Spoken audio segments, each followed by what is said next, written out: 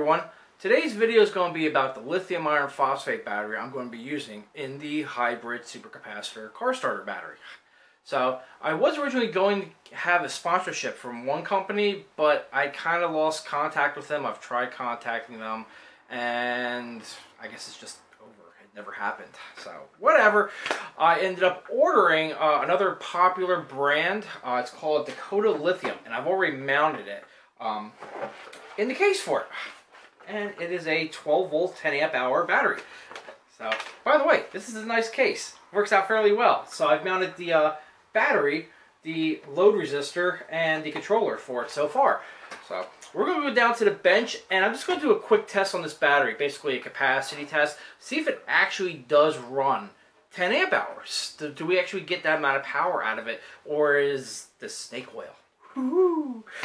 So here's the battery itself red top, blue bottom, 12 volt, 10 amp hours, 120 watt hours. Um, just a little label right there. Nothing on the back, nothing on the side, nothing on the bottom. And the top, they also put the same printing again on there with uh, regular T2 connectors. So let's uh, see the sides of it first. Try not to short it out. Six inches by eh, three and three quarters, roughly, by two and a half. So yeah, it's a small battery. I mean, I can put it in my hand, and it's about the size of my hand itself. So what does this thing actually weigh? Let's see here. On tare zero. Why am I on ounces? There we go. 2.9 pounds. That's all it weighs. I believe the um, regular lead acid version of a 12 volt 10 amp hour battery is about 7 or 8 pounds. So yeah, this is uh, a lot lighter. It still has some weight to it. It's 2.9 pounds, but it's significantly lighter. So so I've charged this up now to uh, what Dakota Lithium says. They recommend only charging up to 14 volts which is the equivalency of about 3.5 volts per cell, which is great. It's like about a 92 or 95% charge or so.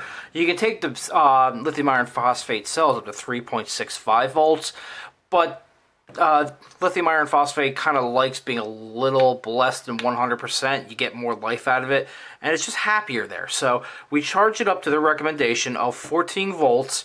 I initially put 5 amps into it and then did a constant voltage until we came down to 500 milliamps on this battery. At that point, it's basically charged. So I let it sit for about an hour now. Um, see what the resting voltage is. We're about 13.4, and the original was like 14.2 to get a full charge up. So that's this resting voltage roughly. It's about 13.3 to 13.4. It might go down just a little bit more if I let it sit for another hour or two. But I want to do a load test on this, and I really want to get it done today instead of waiting another 24 hours. So let me go get the uh, load test set up, and we'll get that started. Okay, so we're running at 13.4 volts right now. We're going to change that definitely. Uh, let's get up here. There we go. Um, we're going to stop at 11 volts, which is what their recommended low charging is. It's 11 volts. And let's see here. Let's discharge at 3 amps. So let's go ahead and run that. You can see the initial voltage drop real quick. And then we're going to count up amp hours and watt hours and see how much power we really get. So at 3 3 amps pulled, this should take roughly 369, just over 3 hours for it to really drain. So let me let this run and we'll get the final figures. Okay, so the testing is now done. She's blinking like crazy, so let's uh, get to stop blinking. And amp hours, 9.781 amp hours, not bad. Watt hours, 124.5 out of, scroll over there a little bit, 120 watt hours. Not bad at all. That's great, especially for a brand new battery.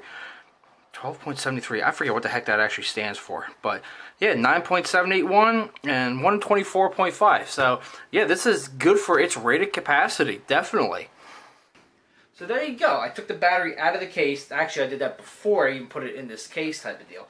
So it actually tested out at 10 amp hours. Now, don't forget also, at the same time, with these units, actually it was 9 point, what, 975 or 9 and 3 quarters amp hours.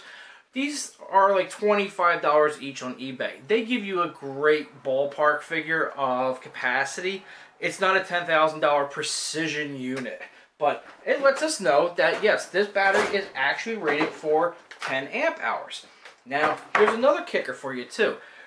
Versus the lithium iron phosphate, if you take a 12 volt 10 amp hour lead acid battery, number one, of course, is going to be a lot heavier. This only weighs three pounds. Actually, just under. Um, the 10 amp hour of that is going to weigh like 8 or 9 pounds because the lead is so much heavier in it. But even more to the point, if it's 10 amp hours rated, that's only if you discharge that battery to 100%. The lithium iron phosphate battery, it doesn't care. It doesn't care if you go to 100%. It can handle it. It's made for it.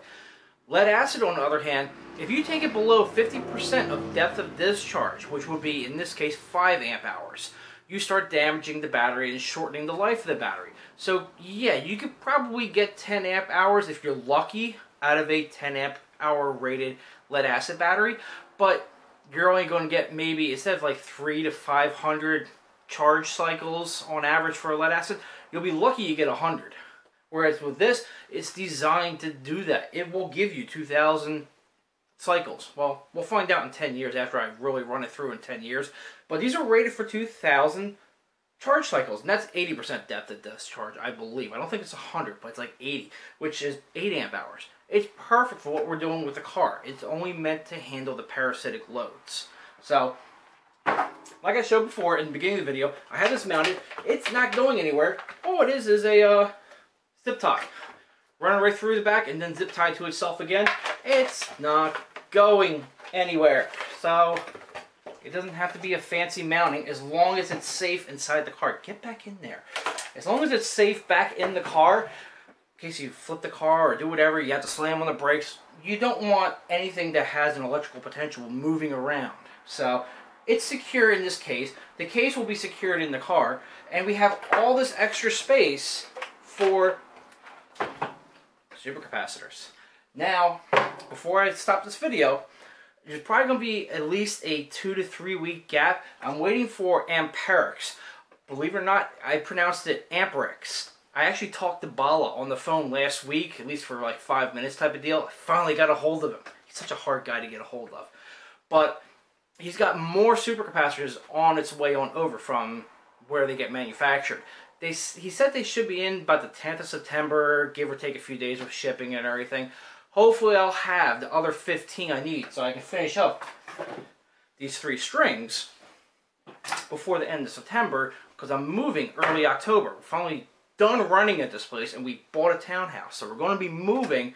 So there's going to be probably a couple week gap for this project. I'll see if I can post some other stuff unrelated to this whole thing. In the meantime, as soon as I get those in, all we have to do is build these three real quick, which I'll do that off camera. You already know how to build them from watching these two. Um, we need to run really heavy copper bus bar. This was a test, which I'll get into more detail when we get to that point. So once we, next video will be assembling the whole array, and then we're going to go into the actual testing. But there will be a few week delay while I wait for the stock to build back in. It's driving me nuts. I want to get this project done. So if you have any questions or comments, go ahead and leave them down below. Please thumbs up wherever heck it is down here because it really helps me. And thanks for watching.